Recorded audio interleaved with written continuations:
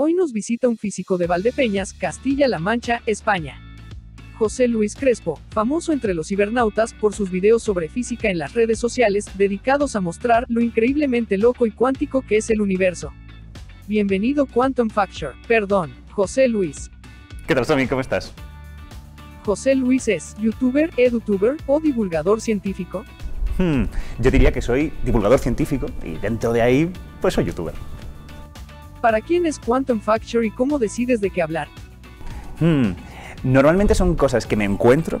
Normalmente siempre estoy leyendo, siempre estoy eh, aprendiendo muchas cosas que me interesan y de vez en cuando aparecen cosas que son muy curiosas y muy interesantes. En ese momento decido contárselas pues, a todo el mundo, dentro de Quantum Fracture. ¿Cuál consideras uno de los mayores retos de la divulgación científica? Yo creo que el mayor reto es encontrar planteamientos que sean nuevos. Yo creo que hay mucha divulgación científica como que se repite todo el rato, que se hace siempre la misma. Donde está el reto de verdad es en encontrar historias nuevas o nuevas formas eh, de contar ya cosas que ya se han contado o bien cosas también nuevas. La innovación en la divulgación yo creo que es lo más difícil. ¿Para qué les sirve la divulgación científica a los jóvenes que estudian el nivel superior?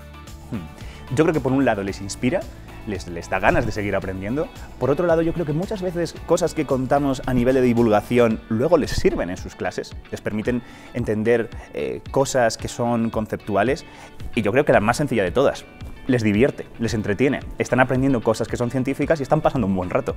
Yo creo que eso es bastante útil.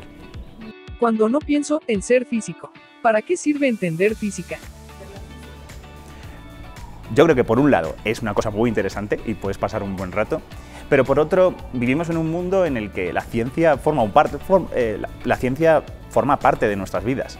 Y ya sea porque alguien te intenta, por ejemplo, timar y te intenta vender una cosa que es científica y, tú puedes decir, un momento, esto no es científico, esto me están timando, es una mentira. Tener esa capacidad yo creo que es eh, súper útil, a la vez que mucha gente te puede convencer de cosas que no son, como por ejemplo que el cambio climático no existe. Si sabes de ciencia, eh, puedes tomar mucho mejores decisiones en tu vida. Lo primero que te viene a la mente cuando escuchas energía nuclear que deberíamos apostar un poquito más por ella.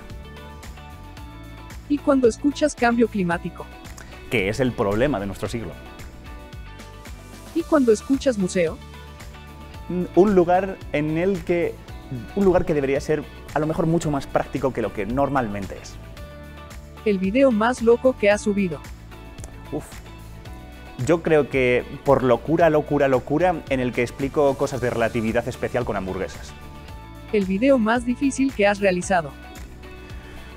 Yo creo que el más difícil fue... Eh, yo creo que el más complicado fue el que intenté explicar cómo funciona un bit cuántico que está dentro de un ordenador cuántico, súper difícil. ¿Tu mayor satisfacción?